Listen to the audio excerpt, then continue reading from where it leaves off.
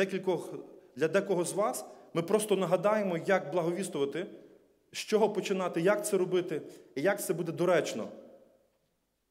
Тому що, ви вже знаєте, мені приходиться зараз в більшості займатися благовістям. І я просто ну, з досвіду свого життя я бачу, як важливо в цьому розвиватися, е, робити це професійно. Не просто, знаєте, хто, що Бог, що Бог дасть. Я маю на увазі не в тому розумінні, а в тому розумінні, що ти знаєш, а Бог тебе використовує. Хіба не так? Ти знаєш Євангелію, а Бог тебе як інструмент використовує в своїх руках.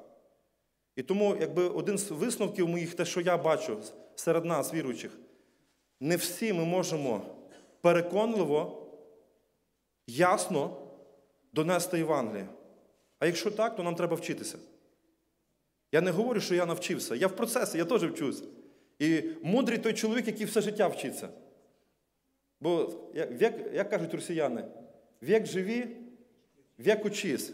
Це мудра мудра поговорка. Якщо допустити думку, що я вже щось досягнув в своєму житті, що мене вже не треба вчити, я думаю, це певно, це певно якісь є проблеми. То треба добре подумати і зупинитися в такому мишленні. Отже, давайте ми поговоримо про евангелізм. Я запрошую вас бути уважними. Я буду задавати питання, буду час від часу до вас звертатися. Я, думаю, що у нас з Божою допомогою вийде. Я хотів би перше, ніж розпочати про евангелізм, звернутися до Біблії і звернути увагу на три ключових тексти, які стосуються евангелізму. Перший з них, який я вже називав, це є велике доручення Ісуса Христа. так? Не буду на ньому зупинятися, я знаю, що ви вже всі знаєте цей текст. Було б добре, якщо є. Бо мені, виходить, повертатись треба і.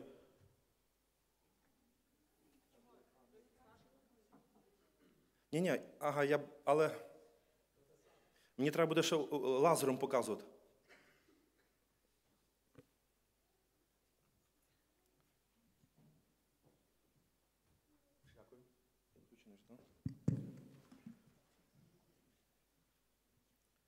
Скажіть мені, дорогі брати і сестри, з чого починається велике доручення Ісуса Христа? З яких слів?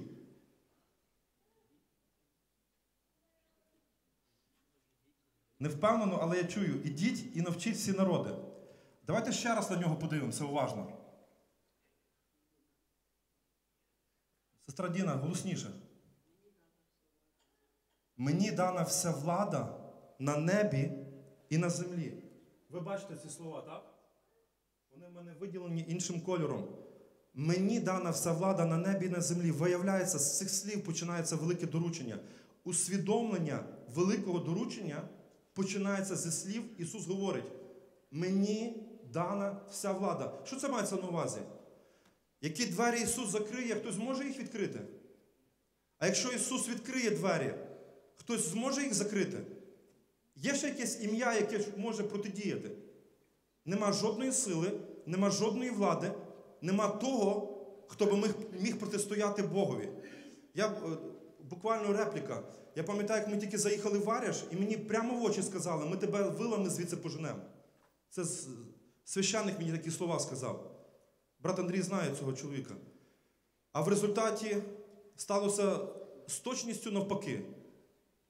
Цього чоловіка село погнало з. Е, тобто, е, ну, я так просто це сказав, за цим, звичайно, ціла історія, переживання і молитви до Бога. Але як висновок, мені дана влада. За Богом останнє слово. І коли я вдивляюся, вдумуюся в велике доручення Ісуса Христа, знаєте, що я починаю розуміти, брати і сестри? Що жодна проповідь, жодне наше свідчення, воно є недаремне. Ви чуєте мене? Після того, як Ісус воскрес з мертвих, і Він сказав ці важливі слова, жодне наше свідчення, жодна наша проповідь, вона ніколи не є даремною. Не суть в тому, чи нас послухали, чи покаялися після нашого благовістя, чи ми звершили молитву покаяння. Суть в тому, чи ми виконуємо велике доручення Ісуса, чи ми слухняні діти. Ось в чому суть. Ми чисто по-людськи ми не раз а скільки покаялись? Слухай, а в тебе скільки покаялось? Ми розуміємо, це теж немаловажні речі. Але я думаю, все починається з цього, коли ми знаємо, розуміємо і виконуємо це велике доручення. Це доручення виконано вже чи ні? Як ви думаєте? Махаю, я бачу, е, люди мені кажуть залу, що ще не виконано. Як воно може бути виконане? Пастор має виконувати його ваш. Дякуна, братська рада, воно може бути виконано спільними нашими стараннями, брати, брати і сестри. Тільки спільними нашими стараннями ми зможемо його виконати. І тому воно сьогодні актуальне, воно не виконане, і нам потрібно об'єднатися в єдиний фронт, щоб ми кожним нашими талантами, кожними нашими, кожним своїми силами міг долучитися до цієї великої справи, справи благовістя. Наступне місце це 1 Коринтян, 15 розділ, там говориться про сутність Євангелії. Якщо ми уважно подивимося на цей текст, то ми побачимо, що в кінці, ніби Павло підсумовує дуже важливі речі. І він говорить: Христос помер ради наших гріхів за Писанням, Він був похований, і третього дня Він воскрес. Ось ці тексти. Я пригадую свідчення одного проповідника, який попав в лікарню. Можливо, я вже розказував вас, але я нагадаю, можливо, хтось не був. Він каже: я зрозумів, що в мене тільки декілька хвилин. Його попросили зайти в палату в реанімацію. Людина ще була при свідомості, ще могла реагувати. І каже: я зрозумів, в мене декілька хвилин, щоб людині цей запропонувати Євангелію. Скажіть, мої дорогі, що можна за декілька хвилин розказати? Деколи нам не вистачає 15 хвилин на проповіді, щоб сказати те, що ми мали на увазі, правда? А тут декілька хвилин. І цей проповідник не розгубився. Він описує за себе. Каже: я згадав цей текст, 1 Коринтян, я згадав, в чому є суть Євангелії. А суть Євангелії в цьому факті, що Христос помер за наші гріхи, був похований, і третього дня Він воскрес. Я кажу, я просто до нього нагнувся і кажу: ти віриш, що Ісус помер за твої гріхи? Чоловік не говорив, але кивнув головою так. Каже, ти віриш, що Він помер за тебе? Був похований? Так. Ти віриш, що Він воскрес для твого оправдання? Каже, я вірю. Я за нього помолився, і я вийшов з палати. Якійсь мірі, каже, я відчув всередині внутрішнє задоволення, що я виконав свій обов'язок. У мене не було більше часу говорити з ним. Але Євангеліє йому я все-таки доніс. Тому що Євангелія ось в чому заключається. І ще один текст, який я хотів би, щоб ми звернули увагу. Пам'ятаєте, коли Ісус розповідав учням, зокрема, Іван про це описує в 15 розділі. Я виноградина, ви галузя. Хто в мені перебуває, а я в ньому, той рясно зароджує, так? Без мене нічого чинити не можете ви. Отець мій прославиться в тому, якщо рясно зародите і будете учні мої. Скажіть мені, будь ласка, як ви думаєте, в чому заключається успіх євангелизму, благовістя? Якщо ми подивимося на цей текст. Ми можемо багато різних заходів робити, правда? Ми можемо не припускати наших багато зібрань пов'язаних з благовістям. Ми можемо все робити, багато що робити можемо. Але коли ми в якійсь мірі зупиняємося і починаємо роздумувати над причиною і наслідками, ми починаємо розуміти, що є речі, які є перш важливі. А все решта це вже похідна з цього. І ми бачимо в цьому тексті, що Ісус, говорить важливе слово перебуває. Хто в мені перебуває? Що має на увазі Ісус? Тут йде мова про те, чи в нас зростають відносини наші з Богом. Мої особисті відносини як проповідника, твої особисті відносини як благовісника. Якщо мої відносини є, в мене є відносини з Богом, вони зростають. Що тоді може бути в моєму житті? І ми дивимося уважно, так? Тоді Отець прославиться, ми рясно зародимо і справді будемо його учнями. Все починається зі слова перебувати. Без мене, каже Ісус, ви нічого не можете робити. І ми починаємо це розуміти і розуміємо, що спочатку що? Спочатку мої відносини з Богом, а тоді наступне що буде? Благовістя. В праці тоді ми будемо бачити результати. Спочатку, як е, пам'ятаю, один проповідник пояснював, якщо ми дивимося на хрест, є діагональ, є вертикаль, вибачаюсь, а є горизонталь. Якщо в нас немає відносин з Богом, глибоких відносин з Богом, нема на що повісити горизонталь. Ці відносини з людьми, з, якими ми спілкуємося. Я думаю, що ми пізніше декілька думок ще згадаємо стосовно цього. Отже, наступне. Скажіть, будь ласка, крім цього, що тут написано на цьому слайді, які ви ще знаєте е, види евангелізації? Хто ще може назвати? Похорон. От ми сьогодні, сьогодні були з вашим пастором на похороні. Я, я не сподівався, в Себучеві дуже багато людей прийшло на похорон. І я, я просто дивився на цих людей, я розумів, що це той момент, коли можна відверто, переконливо говорити про Євангелію. Тому що люди тут не будуть, скажімо так, насміхатися або сказати, ми тебе іншим разом послухаємо. Факт на лице перед нами всіма, правда? І ми казали, ми казали сьогодні, що ніби ми, ми встали всі в чергу, ми не знаємо, хто наступний. І люди стоять і вони реально розуміють, це реалії життя. І в такому напрямку далі рухаємося. Назвали тільки похорон. А ще які є види евангелізації? Будь ласка, браття, які ще є? Прошу? Табори, коли ми діток веземо, особливо з невирючих сімей, і їм благовістуємо. Я знаю, що ваша церква в цьому дуже активно участвує. Хай Бог благословить ваших табірних працівників. Весілля, так? Були випадки, що на весіллі люди каялись? Хто з вас на весіллі покаявся? Я покаявся на день народження. О, бачите, значить, теж евангелізація. Якщо все правильно налаштувати. Бачите, друзі, я хотів зараз говорити, бо пізніше по матеріалу, але до чого я веду? Виявляється, що в нашій церкві не, не, не відбувається, які би не були служіння. Ми маємо бути заточені на, на євангелизм. Виявляєте собі хор, який тільки співає в домі молитви. От подумайте на хвилинку. Хор, який тільки співає в домі молитви. Я коли це зрозумів, я прийшов до наших хористів в Чорнораді і кажу: друзі, ну так, так не буде далі. Я так не казав, я так же вам кажу, тут, я тут сміливий. Але кажу, давайте десь поїдемо, вийдемо в село, давайте десь запроповідуємо. Уявляєте собі, ми, ми цілим хором приїжджаємо в Бояничі. Встали перед клубом, як хор заспівав, люди зібралися. Ну то, то слухайте, то.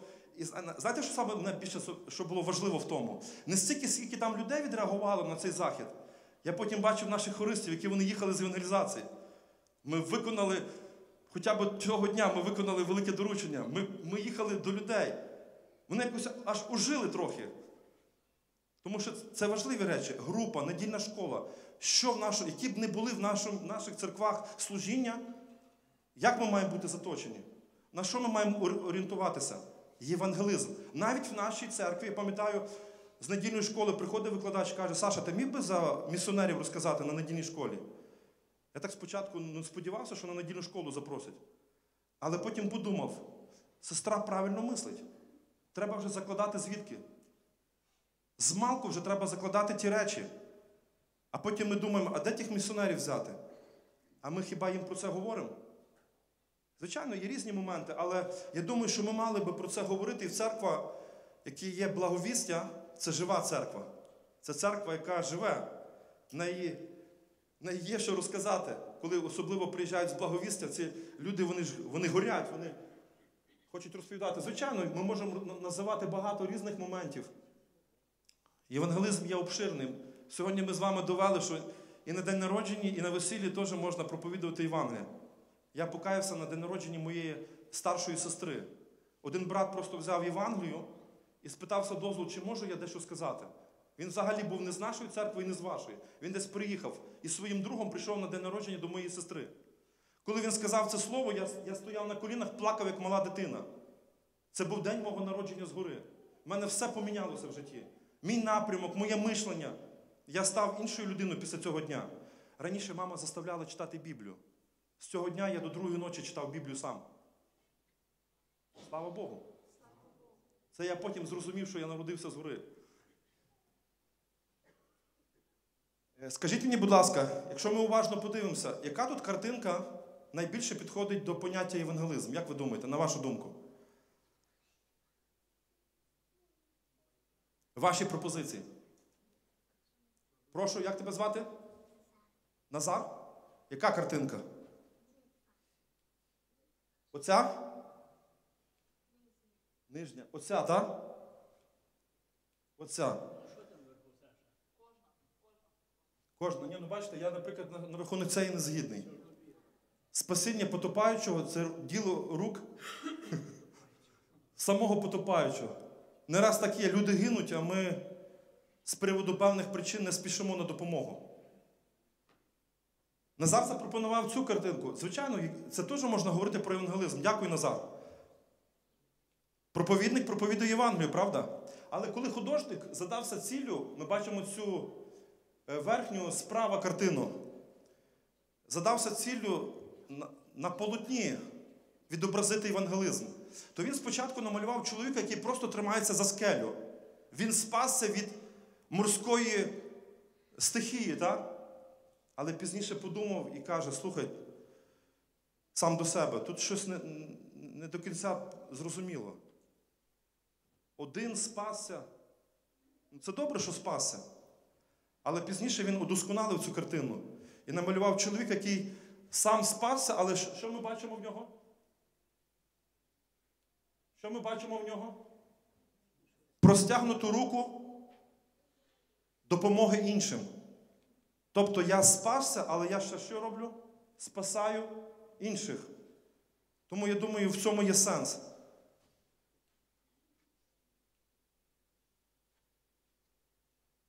Отже, давайте ми все-таки визначимо, що таке євангелизм, щоб далі рухатися. Виявляється, євангелизм це процес донесення благої вістки грішнику з ціллю, щоб він спасся, з ціллю його спасіння. І зауважте, яке слово тут використано це процес. Я раніше дивувався, можливо, хтось з нас сьогодні дивується. Чому я так людині внятно пояснив, а людина не покаялася? Як ви думаєте? Чому бувають такі моменти? Оце слово, напевно, нам відповідає, правда? Це процес, це не одна проповідь, виявляється. Я, можливо, почав благовістувати цій людині. Можливо, Бог предоставив таку можливість. Але брат Коля наступний підійшов, і людина вже при ньому покалась. Чому? Тому що відбувся момент, процес усвідомлення тих речей, які Бог пропонує. І тоді людина робить рішення, вона приймає. Ви як речі купляєте? Ви хіба спочатку не не читаєте інструкцію, не, не дивитеся відгуки, не питаєтеся про ці речі, а потім лише купляєте їх. А ми не раз думаємо, що люди, якщо вона прийшла на зібрання, вона має вже покаятися. Я не раз це спостерігав. Людина декілька разів приходила на зібрання, і на сьомий, на восьмий раз вона сама без заклику казала, я хочу покаятися. Тобто це процес. І ми мали би це розуміти. І участвувати в цьому процесі, допомагати людям приходити до Христа. Давайте ми зараз з вами зауважимо три основних моменти, які є в євангелизмі. Це дуже просто. Євангелизм починається з простої нашої присутності. Велике доручення, що передбачає, щоб ми йшли куди? Серед людей. Є інший варіант іти в монастир, так? Це буде виконання великого доручення чи ні? Тому що там зовсім інша ціль, так? Там та ціль, ніби, щоб мені було добре, щоб я спасся. Ну, так принаймні люди розуміють. Але коли ми говоримо про євангелизм в широкому розумінні, то на початку йде таке поняття, як присутність. Тобто це передбачає мою присутність де? На роботі, в колективі, на, на тій вулиці, де я живу, в, навіть в автобусі, в метро, де б я не, не, не знаходився. Моя присутність. І навіть коли я не участвую в, в проповіді, коли я не відкриваю свої уста, сама моя присутність вже має бути евангелизмом. Тобто моя поведінка, Мій навіть погляд кажуть, що той чоловік такий радісний? Цікаво, а чого він так радіє? Здавалось би, в державі таких особливих причин немає для радості. Тут коронавірус, безробіття, фінансів не вистачає, а та людина, слухайте, а ну підійду запитаю. Мені, його погляд вже, вже мене заінтригував. І так ми можемо говорити. Наступне, рано чи пізно мусить наступити проголошення. Я розповідав вашій церкві цей приклад, мав проповідь, коли я клав плитку, так? пам'ятаєте цей приклад? Не розказував я? Чи то, певно, я студентам розказував? Розсудіть самі. Тиждень я кладу плитку на замовлення. Мене замовили, клав плитку одних людей тиждень. І, і пройшло сім днів, я ні одного разу, ні одного слова не сказав про Бога. От уявляйте собі, понеділок, вівторок, четвер, п'ятниця, субота. Я ні одного слова не сказав за Бога. Як ви скажете на рахунок такого? Ну, партизан, так? Прошу? Ну як, бо мені ніхто не заважав говорити за Бога. А знаєте, що саме цікаво? Дякую, брате. Я я вклав душу в роботу. Тобто я порадився з, е, з замовником, з тим господарем. Ми обговорили роботу. В процесі я підказував, що було б краще зробити. Тобто я вважаю, що я вклав в душу цю роботу. Зробив так, як має бути, розумієте? В неділю я приходжу на розрахунок, і господар каже, зайшов на поріг, переступив поріг, а він каже, слухай, заходь, роздівайся. Я роздіваюся, вішаю куртку, каже, заходь на кухню. Заходжу на кухню, господиня вже стіл накрила. Сіли за стіл, я кажу, я мушу помолитися. Помолився, сідаю за стіл, господар каже, розказуй, що ти за один. Я мав півгодини можливість що робити? Благовістувати. Тобто спочатку ми говоримо про що? Прості речі, присутність, так? Е, тиждень що це було? Моя присутність серед цих людей, яка що дозволила мені? Я, Каже брат Андрій, я показав себе, так, як християнин. І це дозволило мені або відкрило двері для чого? Для благовістя. Я в неділю, уявляйте собі, який це момент, коли тебе люди самі просять розказувати. Ми не раз так по нашій натурі ми хочемо нав'язати. Буває таке, правда? Ну, інколи таке буває, ну що казати. Але як добре, коли це природньо йде, коли людина сама в тебе питається, каже, розкажи. І ти сміливо, відверто говориш людині. Тобто приходить момент, бо бачите, що в церквах говорять? Треба проповідувати життям. Оце зараз саме важливо. 100% я згідний. Але рано чи пізно мусить прийти момент, коли ми проголосимо, коли ми скажемо євангельські істини, правда? Все не може бути тільки присутність. Приходить момент, коли ми відкриваємо уста і розповідаємо про Ісуса. Звичайно, я думаю, що тут має бути природньо. Ми не раз, ну ми такі по натурі, ми хочемо все і зразу. Але терпіння це важлива річ, важлива якість в нашому житті. Треба навчитися терпіти, виждати момент. Як цей, знаєте, як цей професійний мисливець. Він вичікує момент і тоді лише робить те, що має зробити. Отже, перше, що ми говоримо, це присутність. Потім наступає момент, коли ми починаємо говорити. Бо тільки присутність це не є євангелизм, брати і сестри. Скажіть, будь ласка, це все? Чи щось? Що ви відчуваєте зараз? Щось не вистачає? От ми говорили, ну є, да, присутність це не вистачає, це точно. От я вже сказав за Євангелію людям. Що тут ще не вистачає? Олена, як ти думаєш, що не вистачає?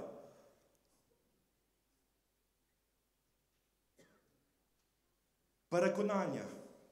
Приходить момент. Знаєте, яка наша помилка? Я от просто буду про себе говорити. Ми аналізуємо деякі моменти, коли тільки ми почали благовістувати. Ми багато проголошували.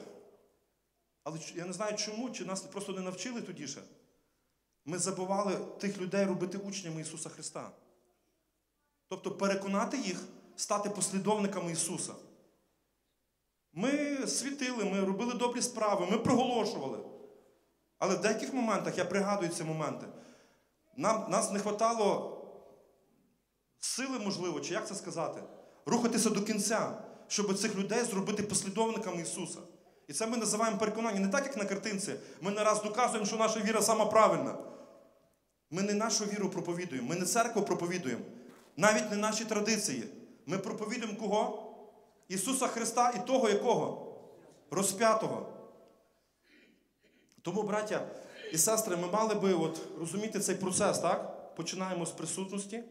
Приходить момент, коли ми говоримо, і коли є досконалий евангелизм, коли він закінчується переконанням. І ви зараз в цьому переконаєтесь, коли я покажу деякі місця.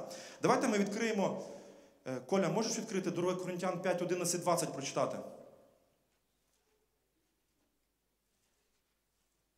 Хто має Біблії, можете слідкувати, бо ми не будемо на моніторі освітлювати. Ти готовий?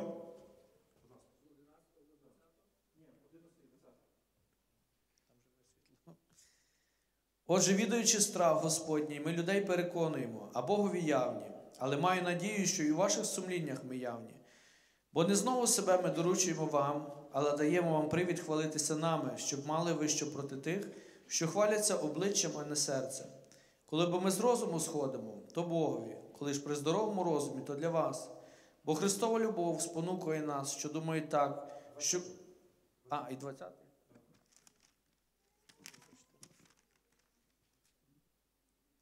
Двадцятий. Оце ми як посли замість Христа, ніби Бог благає через нас. Благаємо замість Христа. Примиріться з Богом. Ми дивилися 26 розділ. Зверніть увагу, що написано 26 28 вірш.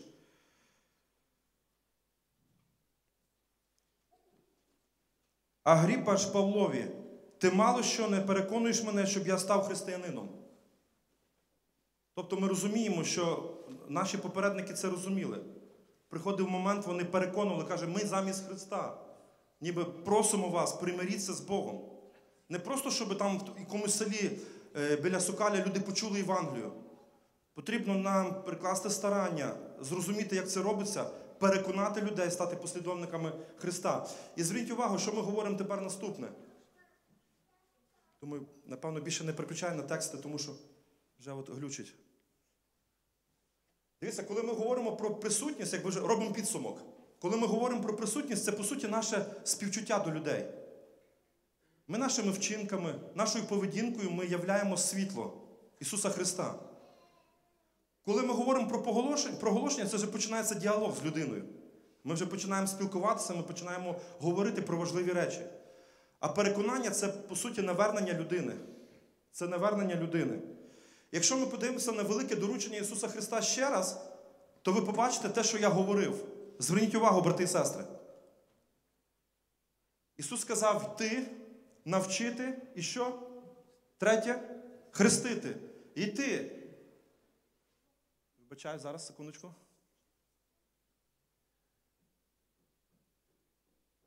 Йти. Це є модель присутності. Куди ми маємо йти? Між людей. Навчити це модель проголошення. Тобто ми не просто живемо між людьми. Ми починаємо говорити людям про Євангелію, про важливі речі. І третє, хрестити це що робити? Це модель переконання. Це зробити учнями Ісуса Христа.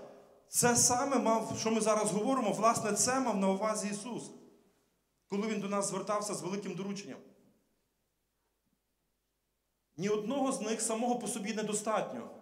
Оці, оця послідовність є дуже важливою, коли ми хочемо допомогти людям. Отже, давайте зробимо висновок. Яке тоді призначення церкви на землі? От ми поговорили визначення евангелізму. Згадали три основних моменти євангелізму. Будь ласка, скажіть, можливо, там з задніх рядів, яке призначення церкви на землі? Хто скаже? Множитись, так? Одна думка. Які ще думки є? Яке призначення Сокальської церкви на землі, Червоноградської? Будь ласка, там бачу руку. Ну, мається на увазі, щоб нові люди приходили. Так я зрозумів? Бачите, є розуміння. Бачу, молоді дуже активні. Зауважте, це, певно, проповідник майбутній. Вже? Будь ласка, хто ще, ще хоч одну думку скаже? Прошу? Так, це стосується нас, але дивіться, якщо ми говоримо про призначення церкви, ми розуміємо, що призначення полягає в тому, щоб в сучасному світі ділом і словом що донести? Євангелію, друзі. Ділом і словом, але знову ж таки підкреслюю, в сучасному світі. Я от коли викладаю студентам, то я, я сам вчуся. І цікаво, мені розказують, кажуть, зараз дуже потужно йде евангелізація в інтернеті. Є от брати і сестри, які конкретно тим займаються. Просте питання: де люди сидять вечором? Скажіть мені, будь ласка, більшість людей, молодших.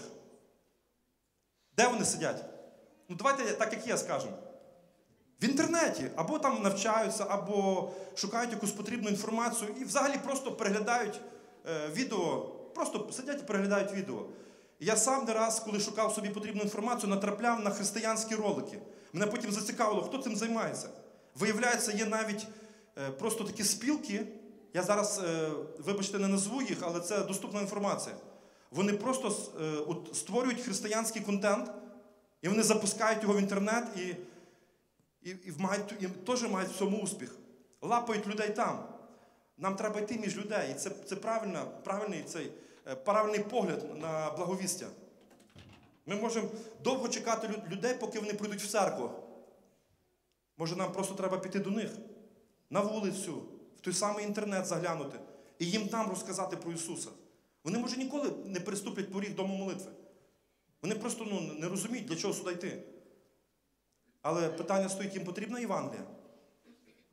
Я знаю точно на 100%, що кожній людині потрібна Євангелія. Тому що нема сенсу більше. Крім Євангелії, нема сенсу життя. Якщо ти не знаєш Євангелію, ти просто. Я, по суті, навіть уявити собі, щоб я не знав Євангелії, я тоді роблю простий висновок. А для чого, який смисл тоді жити на цій землі? Поясніть мені тоді, який смисл? Який сенс? Євангеліє тільки дає сенс життя. Я пам'ятаю, минулого разу я говорив про Євангелію, а давайте ми разом тепер нагадаємо. Перед нами якраз зразок Пересопницького Євангелія. Пам'ятаєте, ми, коли то було? Минулу п'ятницю, так? Була молитва за угнів. Ми говорили за те, що таке Євангелія, коли Ісус ходив і проповідував Євангелія. Давайте ми разом тепер нагадаємо, воно буде на слайдах. Хто не записав, то ще нагадає собі. Отже, перше, Євангелія це хороша новина, а не хороша порада. Пам'ятаєте, я розказував, за, як я жив в гуртожитку. І до мене приходили і казали, можна, не можна. І моя проповідь була можна, не можна. А потім тільки, коли вже я подорослішав, я зрозумів, що я мораль читав, а не Євангелію проповідував. Я їм не проповідував Ісуса. Я їм просто казав, що можна і що не можна. А Євангелія, виявляється, це хороша новина. Навіть не хороша порада. Це, то навіть не порада, це просто хороша новина. Євангеліє це не образ життя, це те, що ми, це навіть не те, що ми робимо. Це те, що було зроблено для кого? Для нас. Оця новина в цьому полягає. Що зробив Ісус для тебе і для мене? Оця радісна новина. Ви, я просто, е, дорогі брати і сестри, чим далі, я більше переконуюся. Я раніше таку думку мав, що по суті зараз люди всі оприділилися. Люди собі оприділилися з храмом, з церквою, з деномінацією. Так? Кожен же собі знає, куди йому ходити або не ходити. І по суті, якщо зараз йти на вулицю, людям щось пропонувати, ну, мені здається, це, напевно, безрезультатно. Але як я був здивований, коли я трошки навчився доносити Євангеліє, коли я вийшов на вулиці і почав людям просто розказувати Євангеліє. Я як сьогодні пам'ятаю, чотири хлопця в парку в Чорнограді, я їх зачепив, ми там ще з одним братом йшли. Просто четверо хлопців йшли по своїх справах. Ми їх зупинили, і я їм розказав Євангеліє. Я спочатку думав, що хлопці будуть з мене прикалуватися. Ну, будуть насміхатися, ну що ти, дядько, там, що тобі нема чим зайнятися, йди в церкву там проповідуй. Вони стояли на мене, уважно дивилися мені в очі. І один, один хлопець мені просто сказав: ви знаєте, нам ніколи про це ніхто не говорив. Я кажу, а ви що в церкву не ходите чи що? Що вас мама, баба, бабуся в церкву ніколи не водила? Там про це не говорять. Уявляєте собі? А я раніше думав, що вже всі люди приблизно знають. Виявляється, наші українці, західна наша релігійна Україна, вона не знає Євангелія. Ми знаємо традицію. Ми чітко знаємо традицію. Ми знаємо віру наших батьків, на яке свято, що не можна, що можна робити. Ми це чітко знаємо. А коли діло торкається Євангелія, то ми бачимо тут серйозні проблеми. А Євангелія спасає. Євангелія сила Божа на що? На спасіння кожному, хто увірує. Отже, перше, давайте зауважимо, це хороша новина. Запам'ятали? Мораль не треба читати. Не читайте вашим друзям, вашим сусідам, вашим особливо родичам. Я був присутній, коли мені було неприємно, хотілося якось десь подітися. Просто нагло читали мораль. І бачу, і бачу людина, знаєте, коли їй читають мораль, вона закривається, вона не хоче більше нічого не мати спільного. Хіба нам читати мораль? Що ми будемо когось вчити жити? Е, Будь ласка, по секрету, хто кого в житті змінив? От ви чули, щоб когось людина людину змінила? Чоловік, жінку, жінка, чоловіка. Я бачу, коли ми любимо один одного, тоді ми міняємося. А там якимись доріканнями, якимись вказівками, то тільки іскри летять. А щоб помінятися, то це міняє Біблія, міняє Бог. Євангелія міняє людей. Любов Божа, якщо хочете, міняє людей. А дисциплінарні от методи, вони, вони, можливо, якісь приструмлюють, можливо, на якийсь момент. Але я зрозумів, тільки любов здатна змінити. Тож, тож правда, що коли двоє один одного люблять, то вони стають подібними. Правда? Кажуть, дивіться, які двоє подібних. А вони в шлюбі, вони люблять один одного. Наступне. Ми нагадуємо те, що колись було сказано. Євангелія це радісна вістка про те, що ми спасені. Пам'ятаєте, задавав питання, яка найбільша проблема людства? Так. Найбільша проблема це гнів Божий. І в Євангелії Павло про це попереджав. Він казав, що обов'язково на гріх, на беззаконня вильється Божий гнів. Це точно. В цьому навіть не сумнівайтеся. Прийде час, коли Бог в своєму гніві вильє кари на, на, цей, на цей нарід, який не покаявся. Читайте Римлян, перший, другий розділ. Е, Читайте Солунян, там, а, а там потім Павло каже, а через Ісуса Христа ми вибавлені від майбутнього, коли каже до віруючих, ми вибавлені від цього гніву майбутнього. Недаром в Біблії сказано, страшно впасти в які руки? Бога живого. Тому це попередження, попередження для тих, хто грішить. Це попередження. З цим не можна шуткувати. І апостол Павло, бачите, особливо в Римлян 1, 18, 32 називає гнів це найбільшою проблемою всіх людей. Тому Євангелія в чому заключається? Ми спасенні. Можете сказати Алілуя? Євангелія це новина про те, що зробив Ісус, щоб виправити, відносини людини з Богом. Тобто, виходить, в якійсь суті ми змінили положення. Ми були мертвими, так? А тепер завдяки Євангелії ми що? Стали живими. Євангелія, вона міняє наш статус. Тому ми йшли в погибель, тепер ми йдемо на небо. Чим і радіємо. Іван про це згадує і каже: ми перейшли від смерті в життя. Слава Богу. І робимо тоді підсумок, але перше ніж зробити підсумок, мені сподобався цей момент, коли сказав.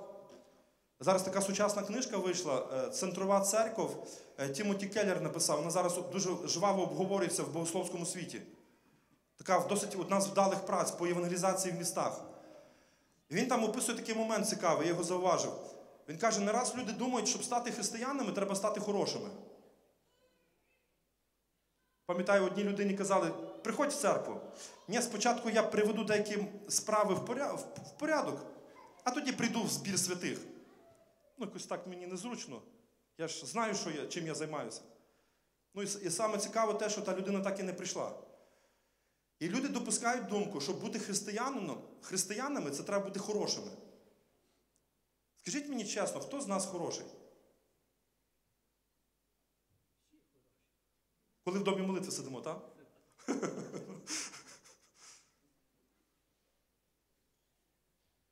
Оця, оця брехня, що треба стати хорошим, щоб бути християнином, мені здається, що вона походить з самого пекла. Це дьявол придумав це. Суть в чому заключається, якщо коротко, що Він є хороший, Ісус є хороший. А ми в кому? А ми в ньому. Тому вирішальне значення грає твоя і моя віра, брат і сестра. Бо якщо ми тільки думаємо про наші справи, те, що ми можемо зробити, ми відкидаємо віру. А це не по Євангелії. Це не Євангелія. Євангелія передбачає віру. Віруй в Господа Ісуса Христа, спасешся ти і весь твій дім. Тому наступне. Я думаю, десь зараз ми вже заспіваємо пісню, але дійдемо до якогось логічного завершення. Отже, давайте підведемо підсумок. Що таке Євангелія? Це радісна вістка про те, що Бог звершив наше спасіння через Христа. Для того, щоб нас, в нас з ним були які відносини? Правильні відносини. І в кінцевому рахунку всі наслідки гріха Бог зруйнував в нашому житті. Головне тут питання віри. Ми маємо повірити в те, що зробив для нас Ісус. Ми оправдані ким? Ісусом, омиті кров'ю Ісуса. Святі ми завдяки чому? Завдяки тому, що ми святі по суті. Завдяки Ісусу. Павло називає, якщо я не помиляюся, колосян святими на початку, коли пише післання, каже, святим, що у колосах. А потім починає їх виховувати в третьому розділі. Каже, відкиньте злобу, гнів. Пам'ятаєте, пам'ятаєте ті речі? Я кажу, почекайте, почекайте, не, не зрозумів. Павло, напевно, не попильнував. Спочатку називає їх святими, а потім починає, каже, умертвіть, залишіть, і крик там називає, і неправду, і що завгодно. Це завдяки Ісусу ми стали святими. Але святий нехай що? І не про це наш сьогодні семінар, але святість це ми починаємо розуміти святість, коли ми говоримо про відокремлення. Відділення ось, ось суть, ключове слово розуміння святості. Бог нас відділив для себе, і ми починаємо відділятися від звичок і поведінки цього світу. Тому, тому тоді ми можемо говорити сміливо про святість. Добре, наступне, брати і сестри. Я не швидко говорю. Зверніть увагу на, на червоний текст. Виявляється, сьогодні світ більше готовий прийняти Євангелію, ніж ми її йому запропонувати. Це не мої слова. Світ сьогодні більше готовий прийняти Євангелію, ніж ми вміємо або хочемо навіть йому її дати. І замість Євангелії ми щось інше пропонуємо світові. Ми кажемо, іди в нашу церкву. Хіба це перше ми маємо говорити? Я думаю, якщо ми приведемо людину до Христа, то вона сама захоче в церкву прийти. А ми не раз якось так не, не завжди логічно ми діємо в нашому житті. І, звичайно, ми розуміємо, що є різні методи, як доносити Євангелію. Які ви знаєте методи, як доносити Євангелію? Хто чув за які методи? Є е, школа Ешеал, є від серця до серця, є е, чотири духовних закони, є п'ять пальців, як можна розказати Євангелію. Їх є досталь. І не раз я бачу, робиться помилка тоді, коли ідеалізують один метод. Кажуть, тільки цей метод він нас пішов, значить він всіх буде працювати. Я думаю, не суть в методі. Суть в тому, чи ми знаємо Євангелію. Чи ясно нам? Якщо нам ясно, ми можемо сподіватися, що комусь стане ясно. Звичайно. А якщо ми не переконливо говоримо, якщо ми заїкаємося під час благовістя, ви зрозумієте, що я маю на увазі. Якщо ми не впевнено говоримо, якщо ми не півгодини шукаємо місце з Біблії, щоб підтвердити те, що ми сказали, ну то ми, напевно, ще не знаємо Євангелія. Євангелія має бути як Отче наш в нашому серці. Ми зараз пізніше про це поговоримо. Як просто донести Євангеліє. Подивіться, як люди приходять в церкву. Така діаграма своєрідна. Як люди приходять в церкву? Е, група благовісників зробила аналіз в певній території, але коли я подивився на це, чому я вам пропоную сьогодні, я зауважив, що це конкретно для нас підходить. Зауважте, дивіться, який найбільший відсоток людей через кого прийшли в церкву? Аж 65%. Через наші родинні зв'язки. Що мається на увазі? Покаялася людина. Якщо покаялася людина, хто, в нього ще є? Ну, скажімо так, на, на початок. сім'я, родина, потім вже назвемо колеги по роботі, друзі, ровесники. Казав один євангелист: приведіть мене до грішника, і я вам покажу ціле кодло грішників. Приведіть, приведіть мене до новонаверненого, я вам покажу повник, де, ниву покажу, де, де можна працювати. А ми чомусь не раз було таке в нас, я пам'ятаю, в нашій церкві, це не на рівні церкви було, але була групка віруючих, які казали, що нічого нема спільного світа з темрявою, віруючих з невіруючими. Тобто ти став віруючий, тепер ходи в церкву, тобі немає що там бути серед тих людей. А я пізніше потім думаю, слухайте, якби Ісус був членом нашої церкви, чи раптом ми б його не сключили з нашої церкви? Вибачте за такі сміливі думки. Що про Ісуса казали? Друг? Кого кого? Почекайте, що він з ними за столом сидів? Він з ними був разом? Він з ними там спілкувався? Фарисеї ж правильно закидали, правда? Ісус не, Ісус не заперечував. Він пізніше просто сказав, що нездорові потребують лікаря, а хворі. І чому я серед них? Я їм простягую руки допомоги. Ми ж, ми ж розуміємо, хто там мав на кого вплив. А ми не раз думаємо, щоб не занечиститися, ми не йдемо. Ми, ми розриваємо, не, не, не, не думаючи, розриваємо наші родинні стосунки, наші е, знайомства розриваємо, тому що я став віруючим, ли. Я віруючий став. Давайте, може, будемо наше мишлення трошки змінювати в плані евангелізації. Якщо я благовісник в серці, то я буду іншими очима дивитися на цих людей. Та це є нива моя. Ми ж співаємо пісню Світи у куточку, де ти проповідуй Євангелія. Будь для них прикладом. Тому, бачите, тільки через труднощі 12% приходить людей. Найбільший відсоток це через наші родинні зв'язки. Через труднощі, так само в моїй сім'ї, у нас була серйозна проблема алкоголізму, коли вже наша сім'я руйнувалася. І мама почала з, цього, з цієї причини шукати Бога. Молитися, знайшла іванівських християн. Нас дітей потягнуло за собою. Потім батько після нас прийшов. Знаєте, хто дівчата, батька, ну, як, як ти дочці відмовиш? Вони на нього нас потім насідали, тянули теж в церкву. І прийшов такий день, коли батько всю горілку вилив в унітаз. Тож його мама казала, що то за ще була невіруючою, що то за марнотратство таке? То не можна було ту горілку продати, взяв все, всі запаси, які мав, вилив в унітаз. І з горілкою з того дня було покінчено. В сім'ю прийшов спокій. Через труднощі ми прийшли до Бога.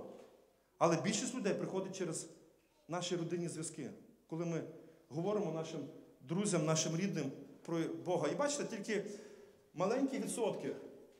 Це наші публічні евангелізації. Десь пастор розказав комусь телебачення, радіо. Просто відвідали вдома незнайомих людей. Досить малий відсоток. Тому давайте ми оце візьмемо до уваги.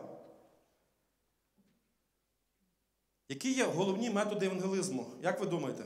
Ми говоримо про ті методи, які я в двох словах згадав. Ну, напевно, євангелізаційні великі кампанії, так? Е, Хлопці, кого ви знаєте найбільших євангелистів світу, можливо, навіть? О, чітко і крапка. Білі Грем і Радчук. Е, Білі Грема хто продовжує зараз справу? Його син, який спочатку був невіруючим, а в 24 роки, коли на, пішов світ, зрозумів, що таке є світ, покаявся і продовжив справу батька свого. Він зараз збирає великі стадіони. Я хотів би зараз запропонувати відео, яке нам зараз наш брат включив.